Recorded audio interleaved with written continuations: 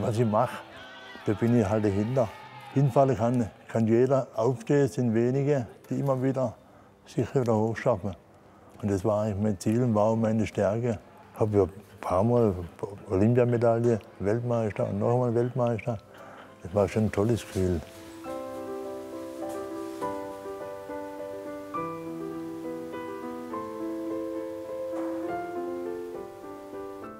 »82 Kilo Kampfgewicht. Seit über 40 Jahren. Adolf Seeger hat in seinem Leben niemals geraucht, keinen Tropfen Alkohol getrunken. Das passt nicht zu einem Sportler, sagt er. Adolf Seeger hat eine klare Linie. Dadurch, dass äh, viele Sachen passen müssen. Kraft, Technik, Schnelligkeit, Beweglichkeit. Aber im Endeffekt ist die mentale Stärke, wenn es hart auf hart geht, immer entscheidend. Der Kopf macht Kräfte frei. Als sechstes von zehn Kindern wächst Adolf Sieger in Freiburg auf, in kleinen Verhältnissen. Über den Vater kommen die sechs Söhne zum Ringen. Adolf wird der erfolgreichste von ihnen. Sein Vorbild Bruder Edmund, Olympiateilnehmer von 1960. Der Erfolg des großen Bruders spornt Adolf an. Nach körperlichen Rückschlägen kämpft er sich ganz nach oben. Sein größter Erfolg, der Weltmeistertitel 1975 in Minsk. Wir saßen morgens um vier im Bett und haben geheult. Das war, das war wahnsinnig. Das konnte man nicht fassen. Der erste Gedanke war dann, der Vater, was denkt der Vater?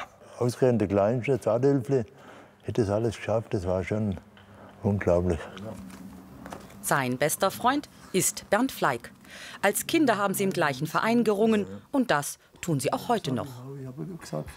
Wenn er verbal dann nicht mitkommt, dann geht er brachial auf mich los und boxt mir bald Schulter weg oder halt ist er grob halt. Er ist manchmal ein bisschen grobschlächtig, aber in Wirklichkeit ist er sehr sensibel und nicht weichherzig. Ne? Mit Sport Gutes tun, das ist sein Ding.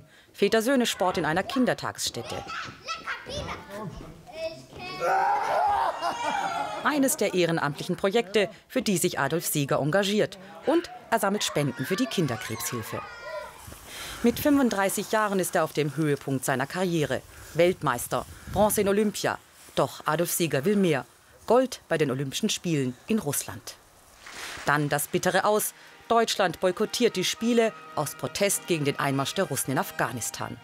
Ich habe mich geschunden bis zum Erbrechen.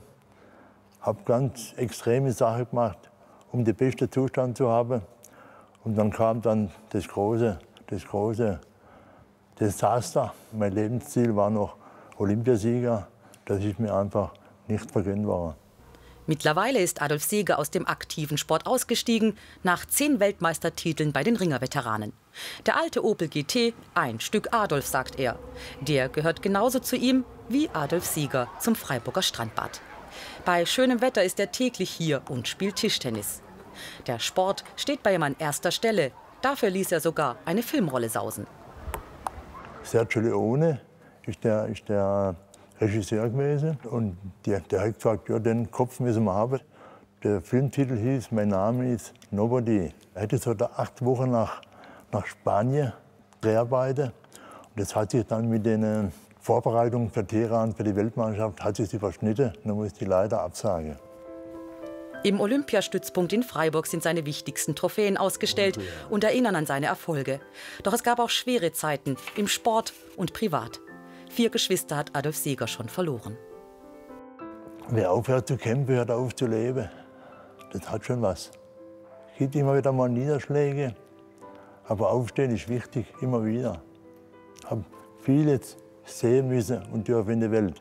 Das macht demütig. Ich habe vieles war ganz schlimm. Aber es ist in Ordnung. Es ist. Sein Lieblingsort, das Fitnessstudio.